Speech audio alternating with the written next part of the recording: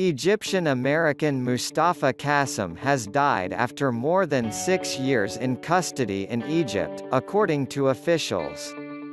Egypt's Attorney General said in a statement that the dual citizenship holder died in a hospital in Cairo on Monday, a day after being transferred there from prison. An autopsy was ordered to determine the cause of death.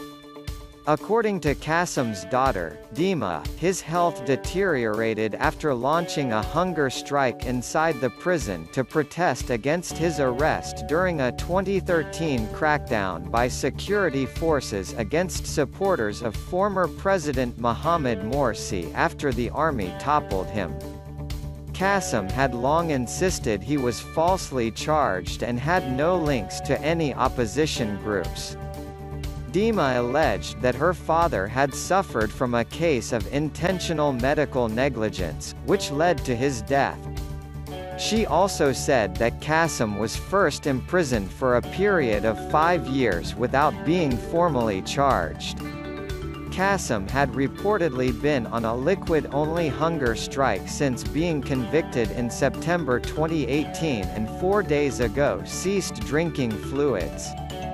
The United States confirmed his death and said it would continue to raise concerns over Egypt's human rights record, which rights groups have repeatedly criticized over the government's treatment of political detainees, dissidents, journalists and human rights defenders.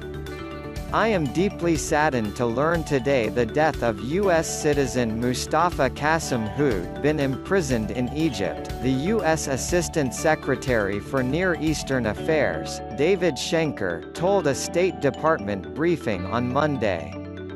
His death in custody was needless, tragic and avoidable, Schenker said. I will continue to raise our serious concerns over human rights and Americans detained in Egypt at every opportunity.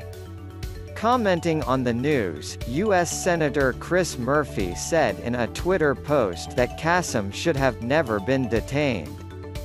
Mike Pompeo must remind Egypt that military aid is legally tied to releasing prisoners, including at least six U.S. citizens, Murphy said, referring to the U.S. Secretary of State.